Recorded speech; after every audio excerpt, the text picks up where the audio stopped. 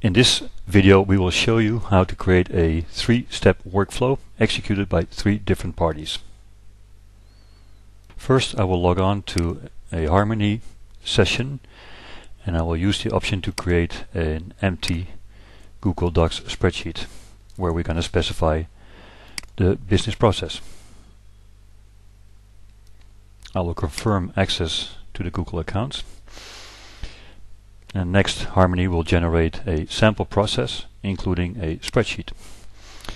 The spreadsheet is empty, it contains one sample rule and one sample dialog.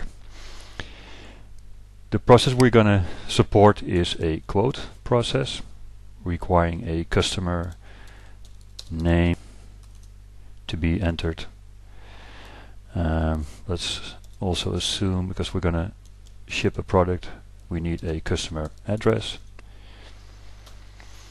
We obviously need a product name, a product price, and a order quantity.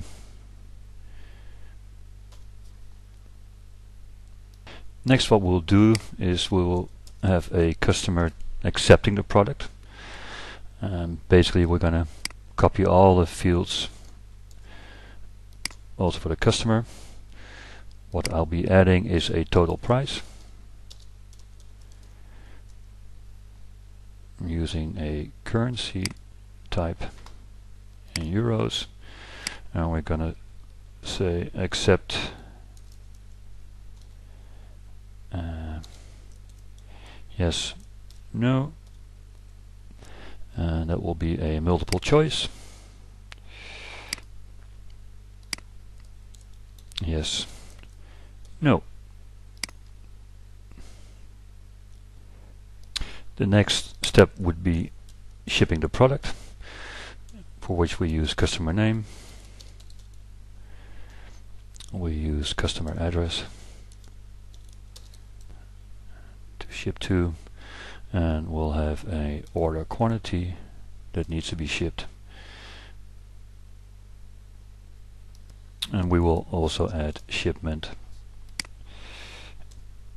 shipment date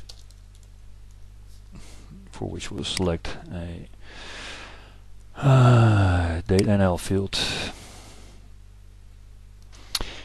Since we have an expression we're gonna add it in the expression sheet sheet so it will be total price is product price times order quantity. Next thing we'll have to do is we'll have to add some groups. We always have a group admin, meaning that they have access to all the queues where the dialogues are stored. I'm going to create one for customer. I'm going to create one for sales department and one for warehouse. Since we have three dialogues, we want to assign the queues, uh, those people who can access it, to the dialogues. So we'll be adding a dialog name. So we say total price uh, exists and what we'll do is we'll have a dialog uh, dialog name accept. And that has to be done by the customer So this will automatically prompt the dialog uh, to the customer. Then what will happen is the customer has the option to accept the order yes or no. The field is called yes no. When it's equal yes, let's prompt it equal value yes. Then we'll have the uh, dialog name ship which will be done by the warehouse. We have now created a business process that is ready to execute. So we'll upload it into the cloud, run it on one of our servers, and once it's completed, we can see how this works. Uh, this one is no longer valid because we create a new version. So let's sign on to it and see what happens. We now have three processes or three dialogues. Let's start with the quote. We have a customer name, sample customer 134 Elgin Avenue in London.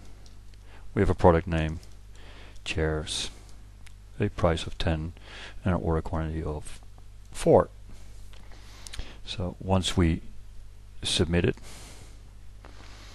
it will inform you, Harmony will inform you that the total price will be 40 and the next step will be to do the accept. Okay, so we submit and in the customer queue, because now customer interaction is required, an entry appears since we are uh, administrator, we have all the rights to all the queues. So we can say accept yes, no. Because it's yes, if it says ship will be required. If the customer says no, then this will disappear. Of course, we want to test the positive flow. Customer's going to order. Will be submit.